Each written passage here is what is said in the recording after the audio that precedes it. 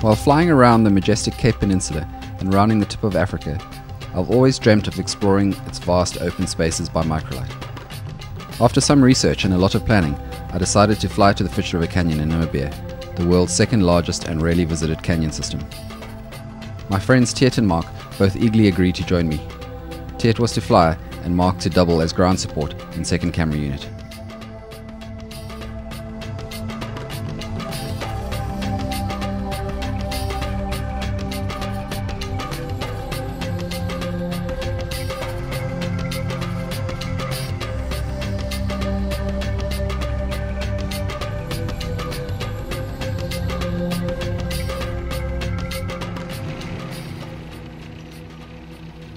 Mark and I started preparation about a month before we were due to leave.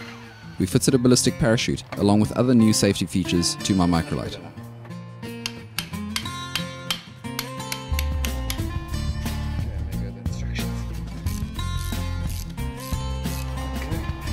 One of the main challenges was figuring out how to mount and connect the multi-camera system and switch box onto my trike.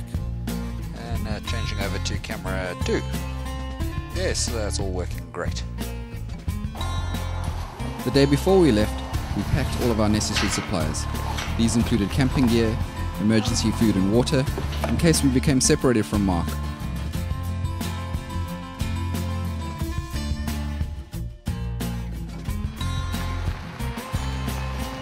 Tjeerd arrived after trailing his trike from Port Elizabeth, about 700 kilometers to the east of Cape Town. We assembled and packed his trike, ready for our early morning departure.